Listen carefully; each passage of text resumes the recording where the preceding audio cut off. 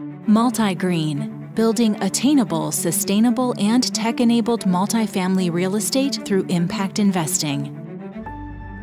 Welcome to the MultiGreen podcast. I'm your host, Randy Norton, and today we'll be speaking with John Murtagh, JL Murtagh, Chris Whipple, Rob Murchison, and Dave Ray, who together make up a vital part of our Sonata One project set for development in Albuquerque, New Mexico.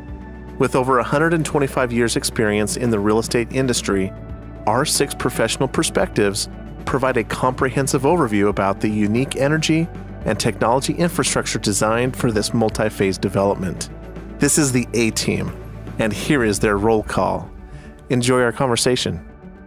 Thanks for being on the podcast today, guys. Let's get into it. So, I want to give a little bit of a background on why we're going into Albuquerque. This is our first case study of the podcast, and we're going to showcase our garden style product. And today we have John and JL who are going to describe a little bit about the Sonata Trails PUD and their history there. And over this multi decade process, we have some infill sites that we'll be constructing some multifamily product on. John, you and I met a few years ago, actually, here in Henderson, Nevada. And at that time, you were telling me about this project, and I just wasn't listening. But eventually, we, we got around to it. We got a term sheet underway. And now we have officially closed the equity, we've closed the construction loan, and we'll be starting construction here in the weeks to come. Tell me and tell our listeners why is Sonata Trails a place of interest to you? and give us some history of this PUD generally. Well, first, good afternoon, Randy. This is John. We opened our division in Albuquerque back in 1995, and we began acquiring the properties that eventually became the Trails Master Plan community in 2004. Eventually, it became a 400 acre master plan community. We've already built about 1,200 homes in the community, sold about 500 lots to other builders, and we completed a 248 rental townhome community about three years ago within the trails. We currently have about 40 acres left within the Trails Master Plan community, and we're working with uh, Randy and MultiGreen to build out the remainder of the trails with rental properties, uh, rental townhomes, and rental single-family homes. The first phase we're working on is a total of 325 units of which 300 of them will be rental townhomes and 25 of them will be single family detached rental homes. We've been uh, successful to date in going through all the entitlement process. Uh, we're very excited because, as Randy said, that part of town is a large amount of growth. Uh, they, they actually opened a new high school, new junior high school, and new grammar school in the last 10 years and it's one of the highest rated uh, school districts in the Albuquerque area. As Randy said before in the introduction, the rental rates are going much higher. There's a huge demand for rental housing in Albuquerque, and we'll hopefully meet the demand by building uh, three or four phases of these homes, rental homes, with Randy. Thanks for that background, John. When multi green comes into any market, we always want to target schools, hospitals, and permanent areas of growing concern. What I really like about this Albuquerque location here at the Sonata Trails is there are brand new high schools, junior highs, and grammar schools, like John mentioned, but there's also a pending Presbyterian hospital that I think will be constructed after our multifamily divisions are complete. Is that correct, John? Yes, we sold the property to Presbyterian Hospital in 2011 anticipation of them break ground upon the completion of the trails. I talked to them recently, and they're anticipating hopefully breaking ground on an urgent care center there within two years. They've already built five in the area over the last five years, and they know that's a growth area. So it's on their growth plan to start construction within two years of us starting this current phase. That's fantastic. And also, there's other amenities in the area. Of course, you have the Petroglyph National Park, which is uh, adjacent to this property. Is that correct? Correct. The trails is called the Trails. We've built about two or three miles of trails within the community, and they all end up at the uh, Petroglyph National Park. So you can walk through the trails to the park, walk through the trails to the schools, and uh, there's also uh, several churches on and near the site. So it's, a, it's become a very nice, close knit community, the Trails has. And in addition to that, there's a new LDS Stake Center church. There are parks. There's even a soccer complex next to the school there with additional sporting facilities. What exactly is that, John? During the course of construction, we were required to build some detention facilities. So, in lieu of having just the bare detention facilities, we built a dog run, we built a baseball field, a soccer field, and additional parks amenities within the Trails Master Plan community. Excellent. Well, I want to pivot to JL a little bit. You are partners in crime down there. John's the father, JL's the son. I really rely heavily on both of your expertise in all of our day to day conversations. JL, you have a construction background, and we're looking for construction efficiencies here in even the first phase of Sonata. Tell us what are some of the things that we're doing to be more efficient there in the first phase? Well, good afternoon, Randy. Thank you for having us on the show today. We looked at, we've been building projects in Albuquerque similar to the Sonata townhomes for about the past five or seven years. And through the course of the past 600 units we built in Albuquerque, we found several different ways of getting efficiencies up and running. The easiest one that we did is to simplify the floor plans and only have a small number of them. So with the Sonata project, we have four main floor plans and only three building types. The main purpose of that is to make sure all the subcontractors are building the same thing over and over and over again, making their job at Sonata much easier to build since it's the same project over and over and over again. The second part is that once the uh, trades are comfortable with the units and they aren't changing, you're able to do a lot of of modularization and panelization and pre-cut and pre-manufacture a lot of their equipment, a lot of their uh, duct lines, a lot of their water lines, piping, things of that nature offsite. So when they actually get to the project, that everything goes in quickly, smoothly, and in the same place each and every time. It makes the process much easier, smoother, and less, much, much less conflicts in the field. I want to throw this question back over to you or John, but basically, from my understanding, the occupancy rates in the area of Albuquerque have been in excess of 95%, and there hasn't been a lot of new construction for multifamily. What is the closest or you know newest product adjacent to us at Sonata? The newest project is about, probably about seven miles away uh, on Paseo del Norte. It's called Olympus North Point. That's a high-end residential community with no attached garages. They're all garden-style apartments. And there was one about a mile east of that called Marcana Apartments. And that finished about a year ago. And that is actually generating the highest rental rate in the city right now. And what about inside of this PUD? Wasn't the previous project? The previous project was the Cantata Apartments. That's the project that we built. We finished it in 2014. It's a 260 unit townhome community similar to Sonata, but with much earlier floor plans and not as much amenities. And how is its occupancy and uh, rental rates going right As now? As of the last week, it was about 98%, but they had just had some turnover for the annual uh, since December, and that's usually the turn time everybody was in and out in Albuquerque. But the rent rates have increased from about $1,200 a month average to about $1,400 a month average in the past year. JL, from an amenity standpoint, let's talk about Cantata. Is there anything significant that's offered there? Not typically. It's uh, a standard hot tub pool. It has a small gym and an outdoor uh, gazebo for a barbecue. With those simple amenities, I'm really excited to pivot to Chris on the additional amenities that we are going to start doing here at Sonata, both with Chris and Rob. But let's start with Chris. Chris, why don't we discuss a little bit about some of the energy solutions that we're bringing to the multiple phases of Sonata? Yeah, thank you for having us, Randy. You know we're, we're looking at this from a bit different angle. You know oftentimes you're seeing a lot of energy efficiency measures going into any type of new construction these days. But the exciting thing that you're bringing to the table here uh, with the multi-green platform is that we're actually looking at how the energy is delivered to the units as well uh, so looking at sonata specifically in the albuquerque region you know we're evaluating some solar technologies we're evaluating cogeneration but the concept is that we'll be placing behind the meter uh, generating assets there on site for the tenants for their use so that their energy will actually be generated on site using, you know, uh, the most appropriate technology for that area. Specifically, here in Sonata, we've evaluated putting in a district heating system, which is something that's very common over in Europe, but rather new here in the States. And what that is, is it's uh, basically a heating hot water loop that'll be installed along with the other utilities underground at Sonata, delivering hot water to each of these units, which can be done uh, on that basis uh, much more efficiently than we could with standard electric hot water heaters that would normally be in the garages of each of the units. So that's very exciting to be looked at.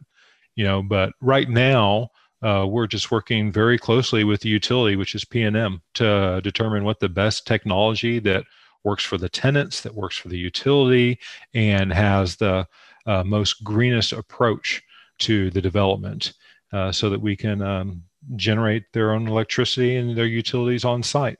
Chris, generally, a lot of energy is wasted in the distribution of it. In fact, isn't about 90% of all energy wasted during the distribution phase? You know, that, that's a very interesting point because the way that utilities operate now, with the recent demise of coal, most utility generated electricity is generated from natural gas. You know, if you look at natural gas, you can view it as a gas that is literally just 100% energy. You know, you can burn it to cook, you can burn it in a campfire, and that heat that comes out is 100% of the energy contained within natural gas. The problem with the larger central generation uh, units that power most of our utilities is the fact that the amount of the energy in that natural gas that's actually converted to electricity is quite low. It can be as low as 30%. Uh, in some cases, you see some plants getting up to maybe a 50% efficiency, but the overall efficiency is quite low. You know, one of the technologies that we had been evaluating for Sonata is what's called cogeneration, which is a natural gas burning generator that we would place on site. But most of the energy would typically be wasted going up out of the exhaust stack we would actually recapture that energy and use it to heat the hot water loop that's going to be going in within Sonata. Uh, with that type of technology and that recycling of what's normally wasted energy, we're actually capturing anywhere from 80 to 95% of all the energy that's available within the natural gas for use on site. So it's a very efficient generation process. Excellent. And how will that benefit our residents? You know, a couple really great things here. First, with on site generation, that provides you a little bit of redundancy. You know, uh, when big storms come through, uh, the grid can go down momentarily. Uh, in some cases, like what you've seen in California, then go down for very long periods of time. But by having some generation capability on site, we will be able to keep uh, the most, at least the most basic amenities operating uh, within the units throughout any type of grid disturbances. But more important than that these days is the green aspect of these technologies. Everything that we're evaluating greatly reduces and, in some cases, eliminates the carbon footprint for the electricity that's being used on site. And so you'll find that w- within the spectrum of age ranges of people that will be looking for these type of multifamily product, they're very keen on the environmental impact of how they're living. And for us to be able to provide an environment where their utilities already pre-coming with a very small environmental impact, that's just a great benefit for everybody that's involved. I appreciate that, Chris. I'm going to come back to you, but I'm going to pivot now to Rob. And Rob is with us, and he's going to discuss some of the technology standardization and information strategies that we have here at Sonata. Over to you, Rob. Excited to be here, Randy. Thank you very much. So let me sort of tee up what the construction industry has typically done over the past hundred years. And that is that, from our perspective, it has not addressed innovation at times very well and it has not done that in a integrated approach that can be pointed to how the master format has been done in construction for decades as an example but now what multigreen is doing you guys as a operating real estate operating platform are making the digital infrastructure something that is sitting at the same seat of the table with the other aspects of what's getting done. By that, I mean that everything, uh, as Chris was just describing, some of the innovations around energy, and as we talk some of the innovations around the building systems, whether it be lighting or, or HVAC, to the experience that a resident will have in that unit, it's all becoming more and more digital. And with an integrated approach, that allows us to get rid of, to Chris's example earlier, a lot of waste. Because if each one of these technologies that are becoming more digital are done in their own silos, what ends up happening is that there's a lot of redundancy of that technology. And what we're doing with the multi green approach is we're not only eliminating a lot of that redundancy so that we get more cost effective implementations, but we also, in this world of uh, digitization, are able to embrace things such as addressing cybersecurity concerns and addressing uh, privacy because everything is converged onto a single infrastructure. Well, I know there's a lot of things that we're working on behind the scenes to standardize our technology. Here at Sonata, we're going to have at least five or six phases. How will this, I guess, technology standardization, Rob, going back to our residents, how will this benefit them? It'll benefit them in two ways, real simply, Randy. One, and most importantly, they will feel it in their pocketbook. And by that, I mean this digital infrastructure unified over one system uh, means that they aren't having to invest in things on a personal level because the digital infrastructure is there and in place. Two, and probably as or more importantly, is the experience which the residents will get in the unit and across the common areas of the property will be far superior to anything else they could have probably done on their own because they're taking advantage of a planned approach to technology versus technology being an afterthought. Rob, one more question. Is there any specific features or functions that you could describe that maybe a resident might have as he or she are walking in from their car into their unit? Can you describe that scene or that process? We could do a couple examples there. First and foremost, I think it's talk about something really simple and that is there will not be any dead spots across this property. The resident won't have to concern themselves with that to the point that the connectivity will be ubiquitous across the property because it's been done in a planned way. Now, because of the ubiquitous connectivity that exists on the property, this allows what we would call uh, use cases of technology that would, if they were done on their own, would be somewhat uh, costly. So, for instance, if the, the resident is approaching their unit and they want the oven to start up or the, the certain music to play when they come into the unit, they want the temperature to be set at a certain temperature as they approach as they're going there and they don't want to condition they've been at work all day and they don't want to condition the unit all day they want it to be conditioned close to when they're arriving. That can all happen automatically. We can work with them to learn their preferences over time. Will this be a single pane of glass that can be driven from one app inside of the phone of the resident? That's a real interesting question, Randy. And we've been working with your team to, yes, make that something that the resident can uh, access via the app. One of the conversations we've had to prove the point is that once you have a uh, resident on a on a multi green platform property, this means that they get the same experience anywhere they go, not only on that particular project, but anywhere within the multi green platform. Well, thank you very much, Rob, for that summary. I know we could go so much into detail on any one of these topics, John, JL, Chris, and Rob. But at the end of the day, we are making green properties. And I want to pivot to Dave Ray, who's on the call here today. Dave, uh, some of the listeners may have heard him before as a featured guest, and he's been consulting with us closely on all of our Green Globes, LEED, WELL, Fitwel, and Future Living Institute certification processes. both on the pre construction as well as in the operations and maintenance of these buildings. So we're really excited to have Dave here today. Dave, we're doing multiple phases here in Albuquerque, as you know, at least a thousand or more units, multiple phased. How are we approaching, or how are you approaching the underwriting to a green certification? And what certification have we chosen and why? Thanks, Randy. You know, it's a pleasure working with this team down in New Mexico because they really understand the process.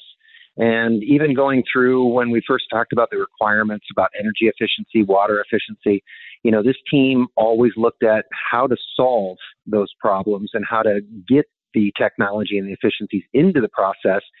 You know, whereas typical contractors are don't bother me, don't bother me with that. So it's been really, really fun working with this team. Now, New Mexico, um, what we've done in all of projects throughout multi-green is we follow a scorecard, a multi-green scorecard that is based on LEED certification, Green Globe certification, and will eventually go into the well typologies. But what we've done is by developing this, we want to make sure that each property will fill the requirements for the multi-green scorecard. This multi-green scorecard is then taken down a little bit more um, finitely for each project so that we can actually see which certification is going to be fitted to get the most out of that particular project. And in New Mexico, fortunately, we have a tax credit. So, what we are advising the team is to do LEED for home certification down there. We're expecting the gold level. And what we're going to be able to receive is a uh, substantial tax credit when the project is complete and we file all the paperwork.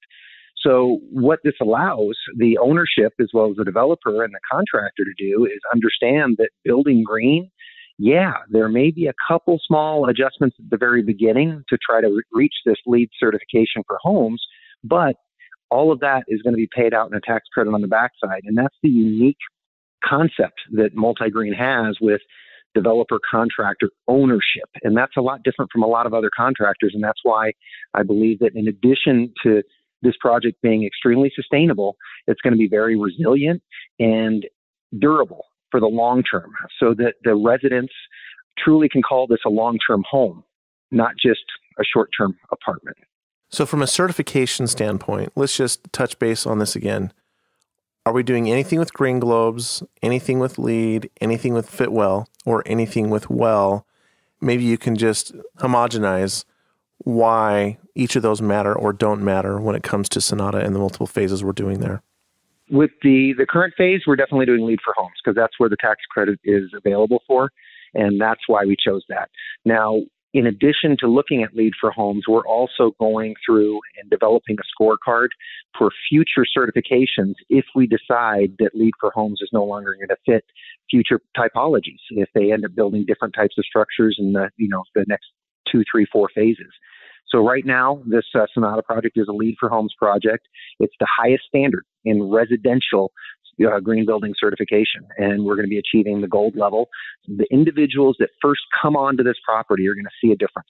They're going to want to be residents in this long term community because of the fact that they're going to be getting more amenities. They're going to be getting uh, quite a few um, different types of digital amenities as well as they're going to have reduced expenses, which is the goal of making sure that the tenants have lower expenses on a regular basis so they can have more income to go on and enjoy their lives.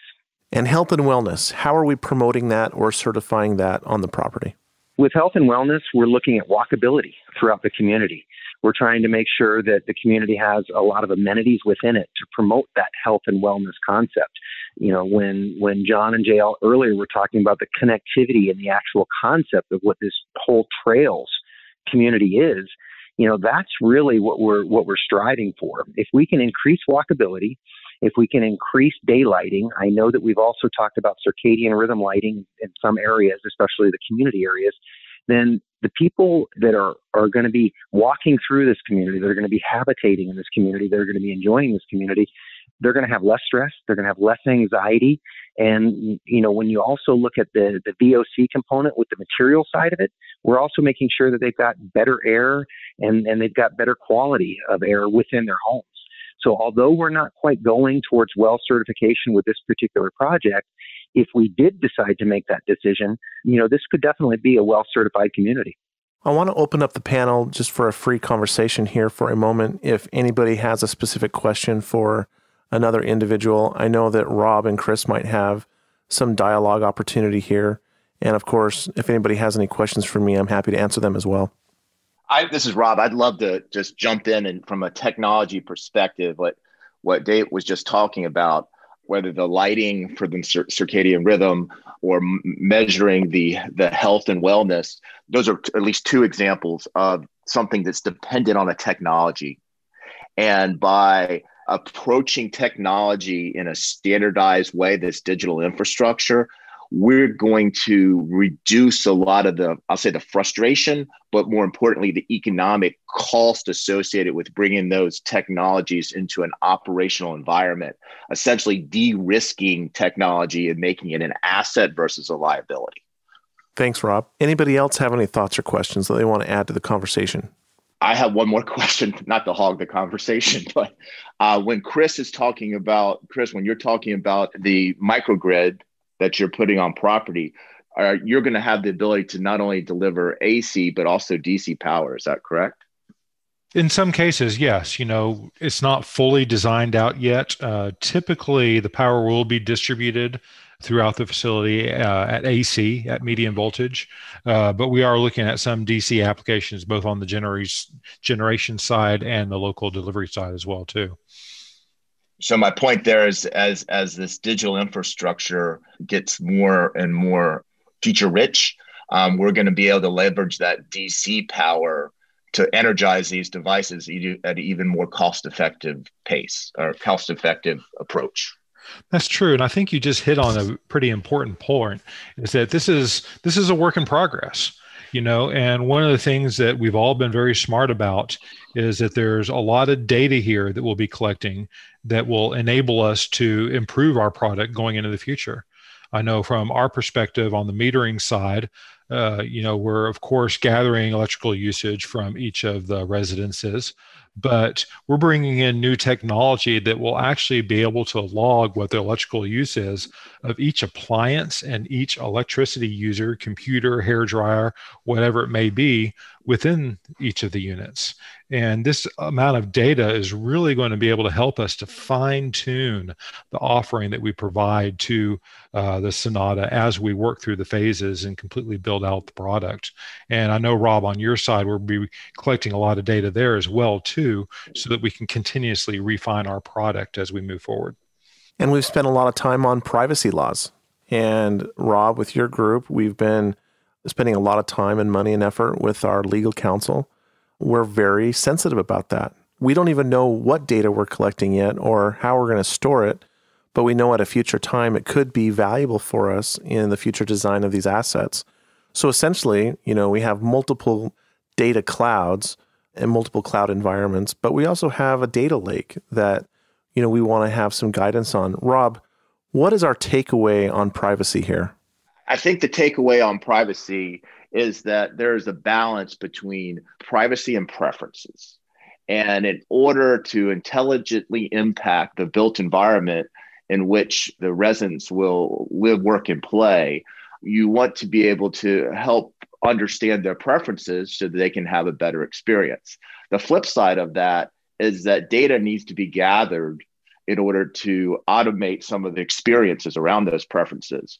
What we're working very diligently with some world class attorneys is to make sure that in no way do we impede upon the privacy of the resident so that they know when they rent from a multi green platform project, they can be rest assured that they're getting the upside of preferences without the downside of privacy leaks. Yeah, I really appreciate that.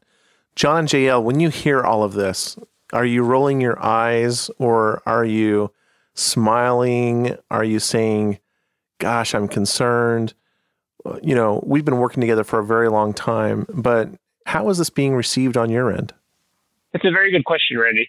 On our end, it's more of a, this is definitely something that's new to us, but we're very excited to learn more as we go through the process. As long as all our tenants' rights are respected, and they get the benefit of all this additional technology, lower power bills, more efficient units, and potentially lower rent than the competitors. It's a win-win for everybody. Is there anybody in the market today that is doing something similar that you're aware of in Albuquerque, or is there any green building competition that we might have from a multifamily standpoint? From our side, we don't see it yet in the public market. We've seen several federally funded projects, but I think we'll be the first privately funded market uh, community with the gold standard for LEED in Albuquerque. If I remember right from a previous conversation that we had, I believe we're the first LEED Homes Gold multifamily project in the state of New Mexico. Does anybody, can anybody verify that on the call? We are, as of for a for a free market, yes. There was one assisted living, federally funded project that was gold, but it wasn't on the open market. So we're the first private uh, enterprise with gold LEED residential in Mexico. Wonderful. So here we are, December 30th. We're at the end of our very first year of operations at MultiGreen. I want to give you each one last comment as to where you see us going in the next year here at Sonata. John and JL, what can we expect over the next 12 months? Well, from our side, uh, we've been working with you, Randy, for a while now. What we like about working with MultiGreen is that we can solve problems outside the box. And when in a green environment, we also can take advantage of new technology that eventually makes the construction even less expensive. So it's a combination of giving additional uh, economies to the actual people living in our communities by lower power uh, costs and also lower construction costs, both in and outside of green. Between ourselves and MG, we resolve to make things better, and sometimes making things better also makes it less expensive to build. That's a great point. JL, what do you see for the next 12 months? On our end, my, our team is going to be focused on getting the first units up and running, getting the getting the club sense clubhouse and the recreational center and the pool up and running for that first project, and moving on to the next phases. How many units will we have under C of O by this time next year? We should have approximately between 120 and 150 units ready for uh, either having tenants moved in or getting ready to move in for the first phase of Sonata. Excellent. Chris, where are we going to be this time next year? I think the exciting thing about this program is that we're really kind of building a movement here. You know, right now we're building 250 some odd units with the first phase of Sonata, but ultimately we're building 40,000 units.